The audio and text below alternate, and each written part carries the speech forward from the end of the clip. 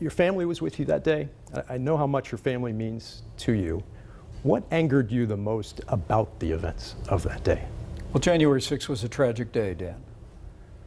Um, but I'll always believe I did my duty that day under the Constitution and the laws of this country. I'd been consistently telling the President for weeks that I did not have the authority to reject or return votes to the states, that no vice president in history had ever claimed that authority. And I had hoped that he would come around. And in that moment, I thought perhaps he was, but in the end, it was not to be.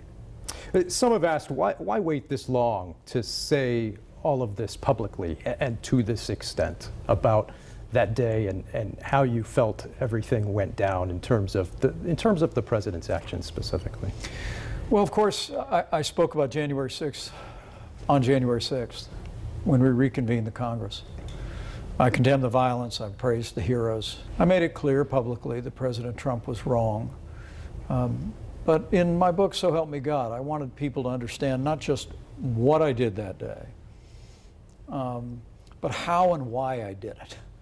Now, I also asked Pence about a possible run for president and what that would be like to run against former President Trump, and also about life with family back here in Indiana. You can see more tonight on the news at 10 and Sunday morning on this week's edition of In Focus, 9:30 a.m. Sunday morning right here on Fox 59. Rochelle?